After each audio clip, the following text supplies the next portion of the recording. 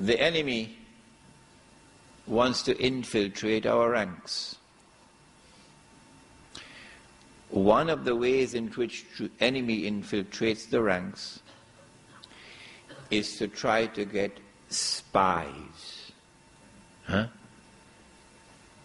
Pay him some money and he'll go into the masjid and he'll sit and he will listen and he'll tape record and he'll go back and report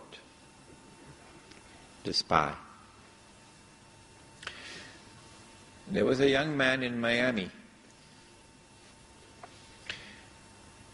and then the FBI approached him and asked him to become one of their informers. And of course, we'll pay you. All that we want you to do is to go into the masjid and listen and observe and take notes and tape record and come back and give it to us. If we send our people, it's going to be more dangerous for us. But if we choose a Muslim, we can do it. The young man said, No, I cannot betray my brothers. So the government of the United States of America threw him out of the country, took away his green card, and threw him out of the United States. And his uncle told me this story. Now, here is a young man who could not be bought.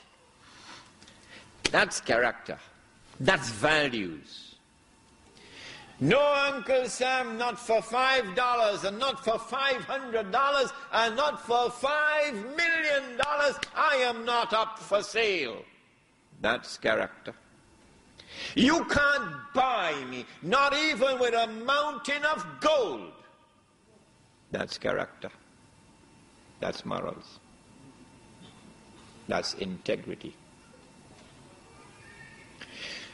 So they try to attack you. But if the heart is turned to Allah, and you have in that heart honesty and truth and the fear of Allah, then they can't buy you, not even with a mountain of gold. I want to show you what happens when the heart is not turned to Allah and we do not imbue ourselves with those divine attributes. I want to now turn to a subject that every young man is going to be mighty interested in a subject called love. Falling in love. We have some young people here tonight, do we? You know, Allah subhanahu wa ta'ala, I hope I don't take too much time on this subject, but it's very important because it deals with the heart of morality and character, the attack. If you want to understand how they destroy the power of a people, they know that it's the young men who wage war. So what they do in Karachi in Pakistan, they flood the market with what they call blue movies, pornography. Hmm? Every single street corner now has a video shop. And the video shop are peddling these blue movies. Do you think the blue movies reached to Pakistan by accident? You must be dreaming. It is the enemy who is attacking. And as the young men look at the blue movies, the pornography, in the videos and on the internet, what happens inside? قد أفلح من زكاها وقد خاب من دساها Successful will be those who purify themselves. And those who corrupt themselves will end up in the garbage bin. وَقَدْ خَابَ مَنْ دَسَّاهَا They understand it better than we do. And so they attack you internally. And as you watch these blue movies and this pornography and the internet, you are internally corrupted. And the internal foundations of power are now destroyed. So let's come to love.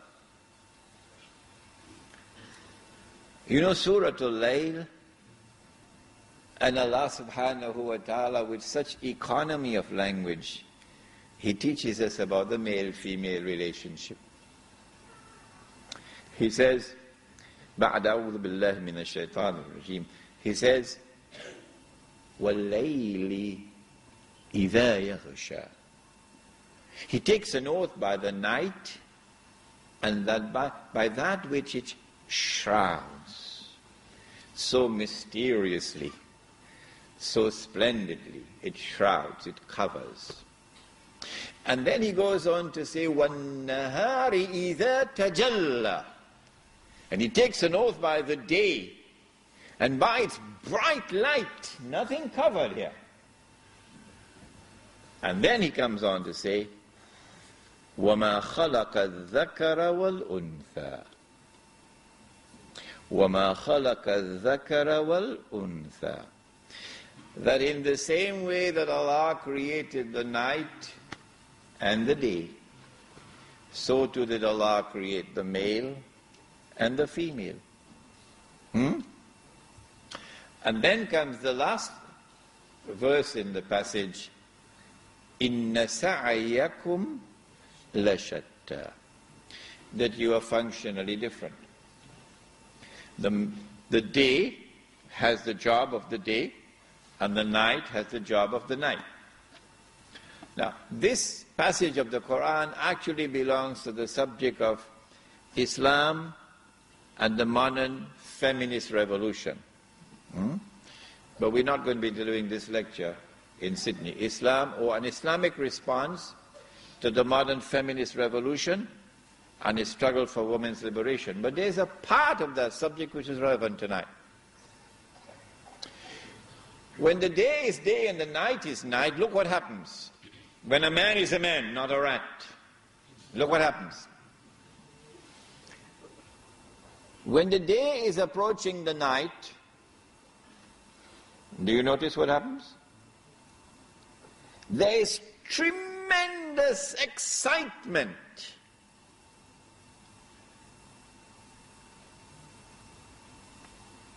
there is the excitement of two powerful forces attracted to each other. And as the day approaches the night, the day expresses its excitement and its joy by painting the sky in a riot of colors. It's called a sunset. You got sunset in Sydney? That's the excitement of the day approaching the night. And then when the day meets the night, the day plunges into the arms of the night. Intense attraction. And then after the day has disappeared into the arms of the night, then all through the night there's a time for rest, and there's a time for sleep, and there's a time for love, and there's a time for worship, and then there is the time to say goodbye.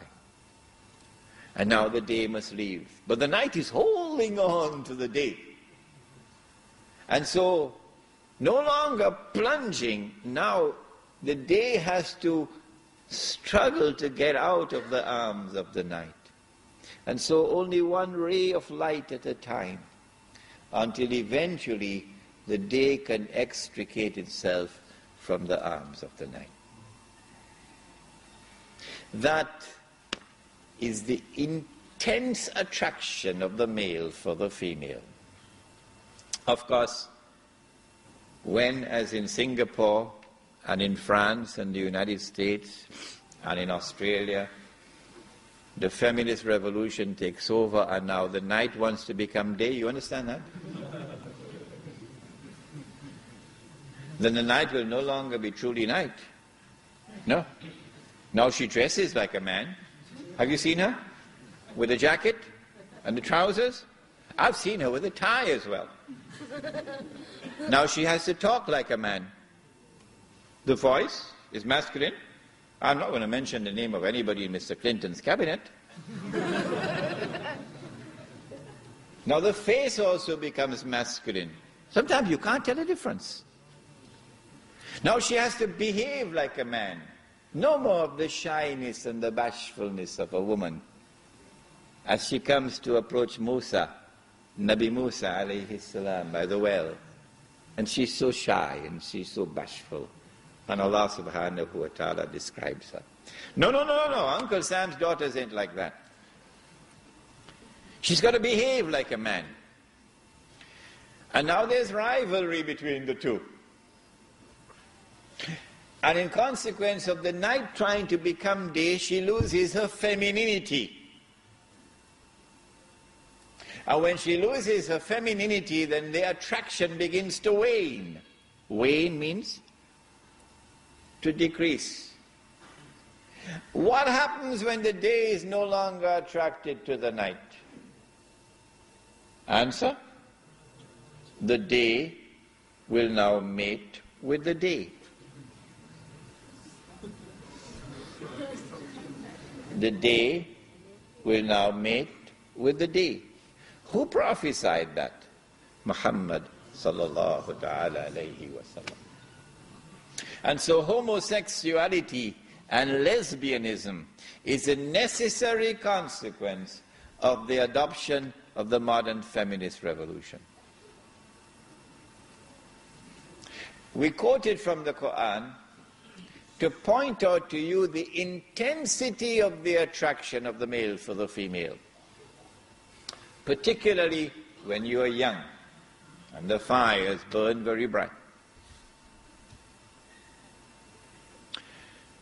They say you got to fall in love first. And only after you've fallen in love, then you get married. Of course, marriage is very expensive because you not only have to pay for the wedding dress and the wedding clothing, and you have to pay for the banquet hall and all of these things, but you also have to pay your lawyer and she has to pay her lawyer to have the prenuptial agreement. and then you get married. And you pledge eternal love for each other. You've heard it before. Eternal love for each other. And eternity lasts for six months. That's true. That's true. Eternity lasts for six months. We had so much love for each other. If you're a teenager tonight, listen to me. We had so much love for each other. Where did it go? After they got married, love left them. It went with a cloud, passing away after they got married, every day the love grew less and less and less and less until it disappeared. Where did it go? The answer is it was in love. Allah is Al Wadud, the God of love. And so true love comes only from Allah. It doesn't come from a, from a wink across the classroom. it doesn't come from rubbing shoulders in the marketplace. And it doesn't come from comparing blue jeans in a shopping mall.